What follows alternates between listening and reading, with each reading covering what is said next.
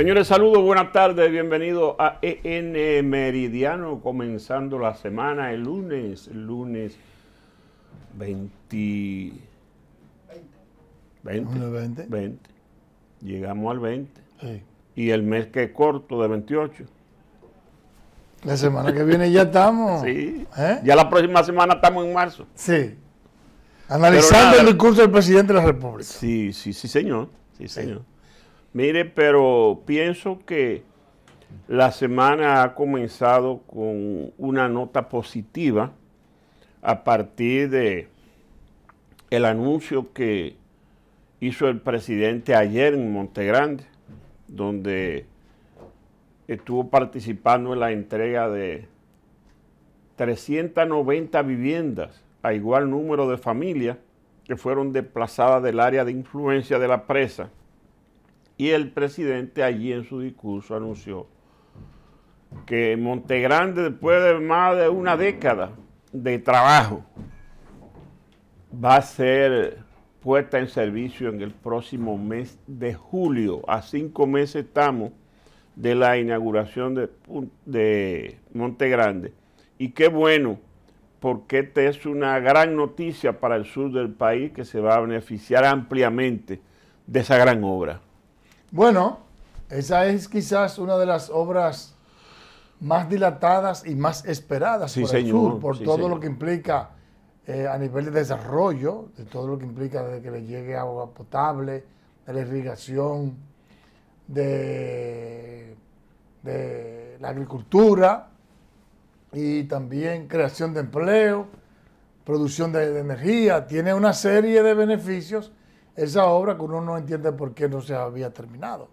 Qué bueno que sea así, ojalá que se cumpla con la palabra empeñada. Esa también es una buena noticia, eso de entregar más de 300, 300 eh, eh, apartamentos y habitaciones a la gente que vive en los alrededores de, de esa obra para que pasen a vivir mejor en un lugar eh, no vulnerable. Y yo creo que ese tipo de iniciativas es la que nosotros queremos ver que abunden mucho en este año. Sí, mire, yo conversando hoy con el ingeniero Olmedo Cava, que es director del INDRI, él mostraba lo que era el lugar donde vivían esas 390 familias. Eran casitas con piso de suelo, de tierra, cayéndose, de, eh, eh, con el techo de cana, de yagua, de ese tipo de material, material plástico. Una forma ayeta. Sí, sí, sí, totalmente indigna. Eh, una indigna, una indignidad de evidencia tenían esa gente. Y hoy el presidente le ha entregado esa vivienda a esas 390 familias que tienen entera de, de- de concreto, de, de block. Bien, con- un apartamento Sí, bien bonito. bien construida, pero además amueblada, cada una tiene dos habitaciones, cama, comedor, estufa, la estufa con su cilindro de gas y un patiacito. Pero además el presidente le está, vía varias instituciones, le está preparando un proyecto agrícola para que esas 300 familias tengan donde producir su sustento en forma de cooperativa, cooperativa agrícola, producción de alimentos. Y tal como usted dice, Mundo, eso es lo que debiera replicarse muchas veces en República Muchas, muchas veces en Dominicana. República Dominicana. Porque- Todo el que viva, don Freddy, Sí, en una situación así indigna, como usted dijo, tiene que ponerlo a vivir dignamente. sí, Y señor. además, un proyecto con una concepción de desarrollo, que la gente tenga la posibilidad de, desde ahí, poder producir pa- para vivir, eh, para poder vivir dignamente. Mire, mire, por ejemplo, un produ- una producción agrícola. Eh, hablamos de que hay todo un plan para desa- desarrollar la zona sur Sí, sí. en materia de turismo. El turismo necesita de agricultura. Claro, oh, pero el turista eh, Entonces- eh, viene eh, de, de placer a, a comer, tomar trago, divertirse. Entonces, cualquier proyecto agropecuario que se desarrolle ahora en la zona sur tiene un potencial tremendo de éxito por el hecho de que se va a desarrollar el turismo. Así que de manera concomitante, en lo que se va desarrollando el turismo ya aquí en Pedernales, también cada uno de esos proyectos que se van eh, levantando, como el caso de esta de Monte Grande, si se puede desarrollar con una visión no solamente de sustento, sino una visión de negocio, sí. ¿eh? no cabe la menor duda de que ahí van a tener una especie de, de clientes cautivos. Sí, sí, ¿eh? sí, sí. Con ese desarrollo del turismo. Mire, eh, es importante que al potencial turístico que va a tener el sur a partir de Propedernales, Así es. el presidente se está adelantando a hacer ese tipo de cosas. Ya el Infotep tiene dos escuelas de formación de técnicos, una en Barahona y otra en Pedernales a los fines de ir preparando a los jóvenes que se van a emplear en la industria turística. Y justamente en ese viaje que hizo el presidente ayer a Montegrande para la entrega de esa vivienda, el presidente estuvo en tres playas que se le invirtieron 150 millones de pesos para acondicionarla, organizar los pescadores, organizar los venduteros de, pescado y ese tipo de cosas que están en la playa, caseta bien, bien ordenada. Esas son las playas tradicionales de Barahona. Una se llama Los Patos, otra se llama El, el Quemaíto y otra se llama no recuerdo cómo, pero dignificando eso. Y, y, acondicionándolo para que y acondicionándolo para, para que se preparan para el desarrollo turístico. Entonces, bueno, bueno que el presidente que ha tenido la intención de cambiarle el rostro al sur, lo pueda lograr. Así es, mire, don Freddy, eso de Infotep también, que está yendo, ah, instalándose, eso es importantísimo, para ir creando eh, la mano de obra calificada que pueda posteriormente trabajar y dar un servicio de calidad a los turistas que van, van para allá.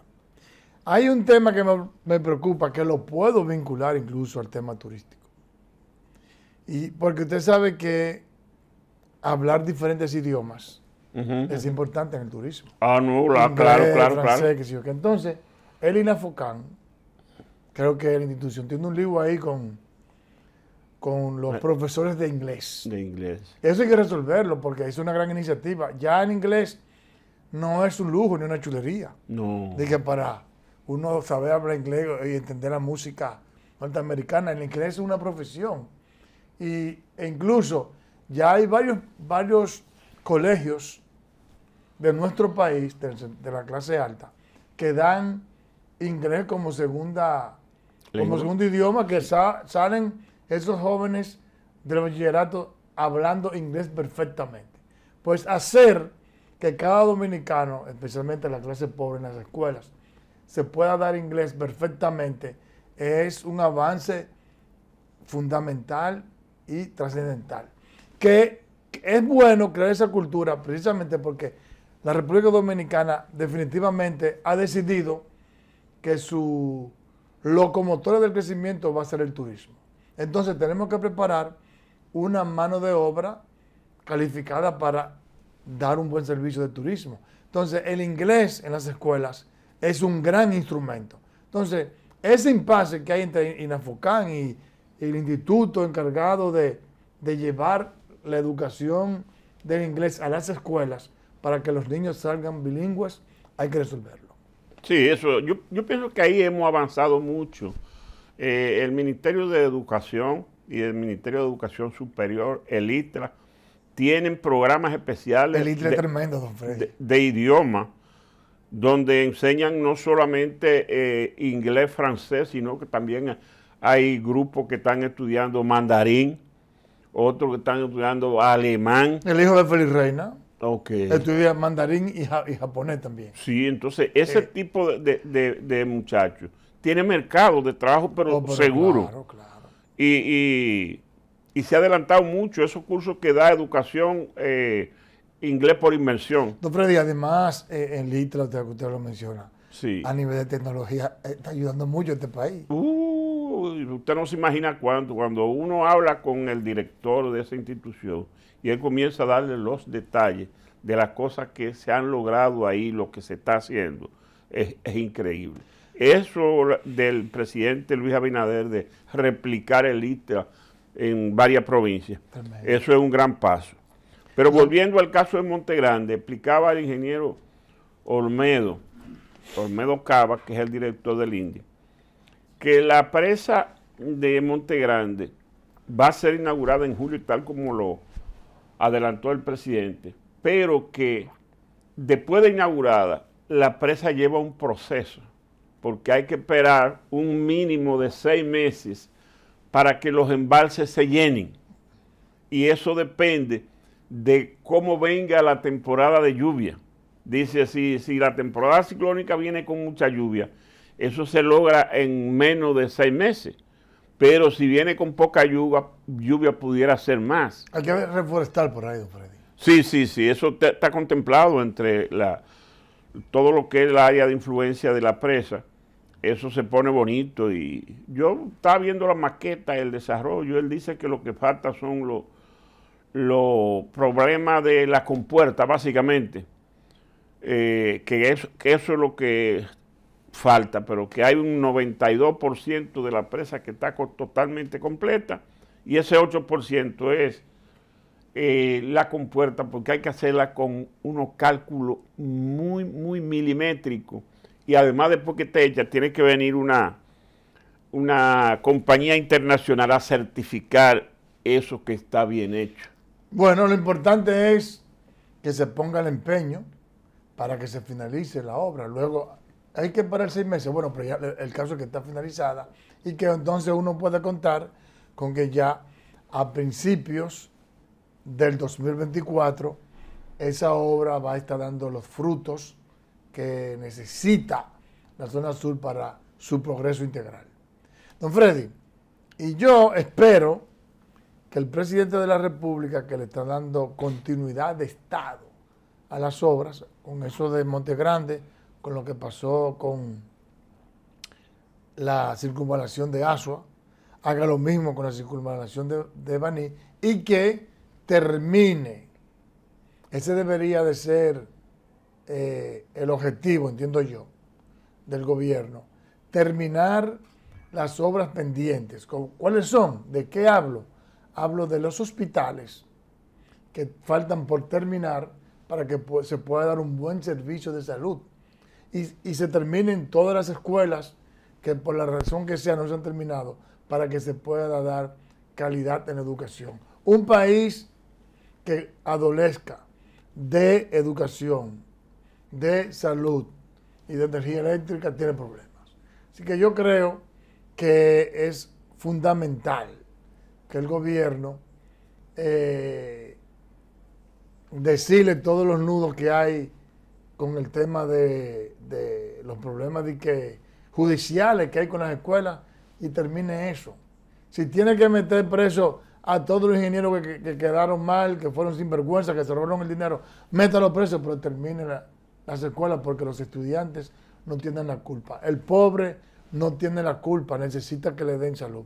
Y, y esas son dos condiciones, salud y educación, fundamentales para asegurar la prosperidad y la integración social y económica de nuestros dominicanos. Sí. Mire, hoy, eh, comenzando la semana, buenas noticias. Eh, comenzamos con esta de Monte Grande, pero en el plano internacional hay la noticia que ha sorprendido al mundo, la visita del presidente Joe Biden de Estados Unidos a Ucrania.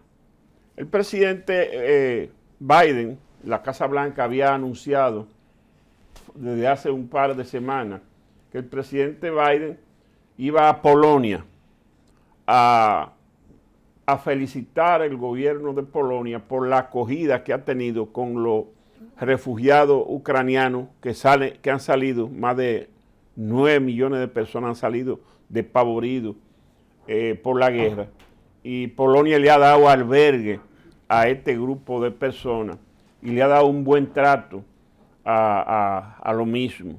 Entonces el presidente en agradecimiento de ese trato eh, programó ese, viaje a Polonia para pronunciar un discurso de ahí, desde ahí en ocasión de que el próximo viernes se cumple el primer año del inicio de la guerra de Rusia a Ucrania. Bueno, pues sorpresivamente, el presidente que salió anoche de Washington llegó, eh, pero llegó a Kiev, a la capital ucraniana, y allí se reunió con el presidente Zelensky y su equipo. Eh, se le ve también, después de esa ceremonia, paseando hacia la iglesia San Miguel por una calle de Kiev, y ahí pronunció eh, Zelensky un discurso dándole la gracia a Biden por la ayuda que le ha prestado, tanto en el orden económico como militar. Avanzó que le va a facilitar otros 500 millones de dólares inmediatamente a los fines de ayudar con los problemas. Va a agilizar la entrega de los blindados que ha prometido Occidente para combatir eh, el avance del ejército ruso y sorprendió a todo el mundo eh, la presencia de Biden allí porque no se esperaba. Él tenía programado ese viaje a Polonia.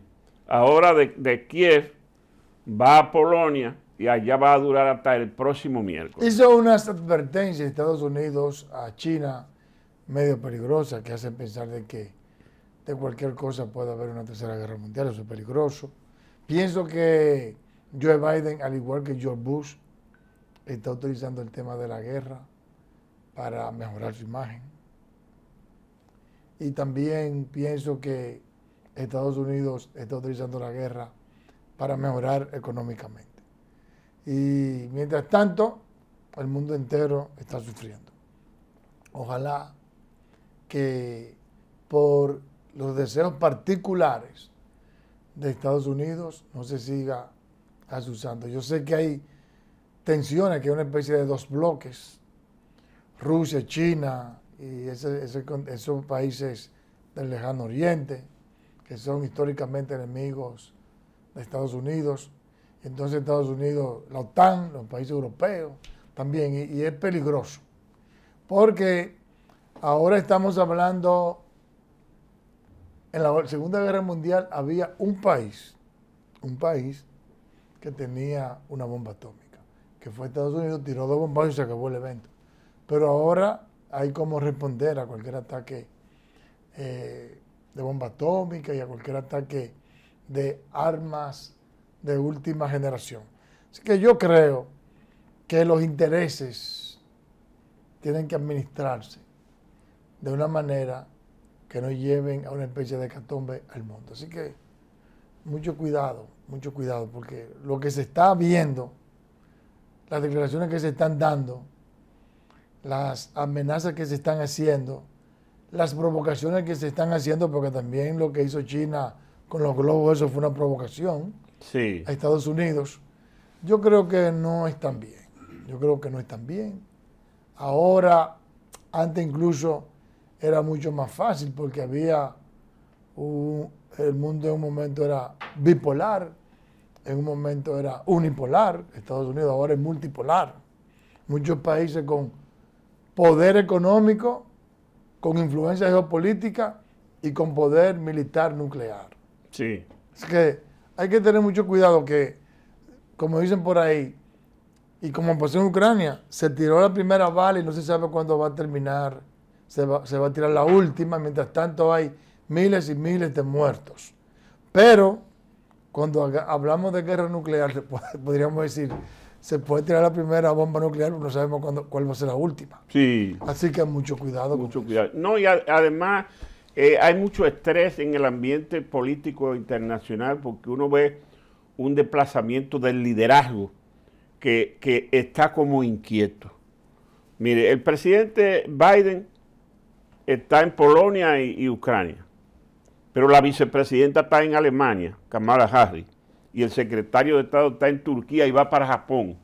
O sea, eso le dice a usted del movimiento que tiene Estados Unidos cotejando su, su, ajedrez. exactamente, hablamos de de estar visitando los principales dirigentes norteamericanos, visitando a sus socios más poderosos Sí, y entonces y se, más influyentes. sí, se espera con mucho interés también un discurso que va a pronunciar el presidente ruso Vladimir Putin esta semana. Debe ser el miércoles o el jueves, porque el aniversario se cumple el viernes, pero Putin va a hablar antes. Tiene dos años que no habla a su nación.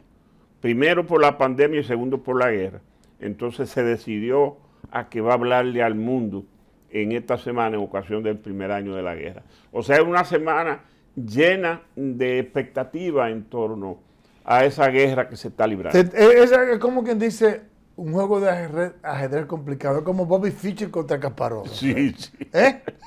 El mejor ajedrecista norteamericano, Bobby Fischer, contra el mejor de la historia ruso, que es Kasparov. sí. ¿Eh? La cosa está difícil.